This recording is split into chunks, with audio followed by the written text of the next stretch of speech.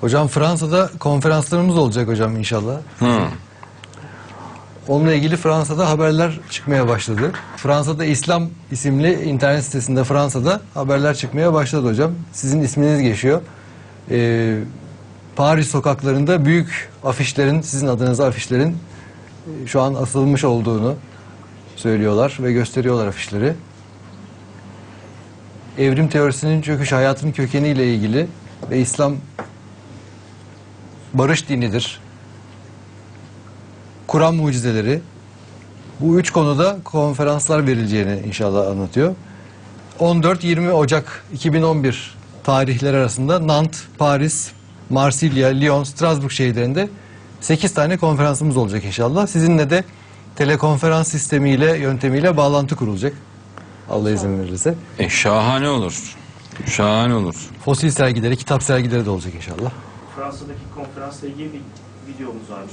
Tamam bakalım. Fransa Ocak 2011'de ikinci kez sallanacak inşallah.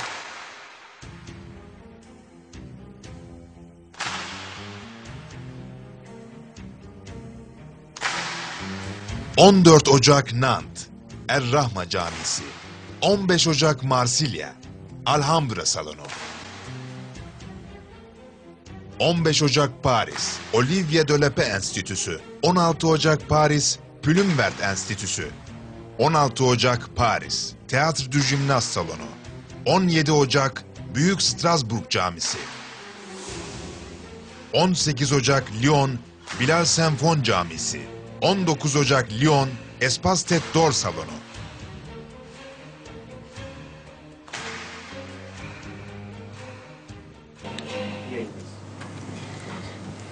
Ayet ayet Kur'an, adım adım İslam. Türkistan Birliği'ni bütün dünyaya yayacağız inşallah. Şu beladan, şu sıkıntıdan, şu kabustan bütün dünyayı kurtaracağız inşallah.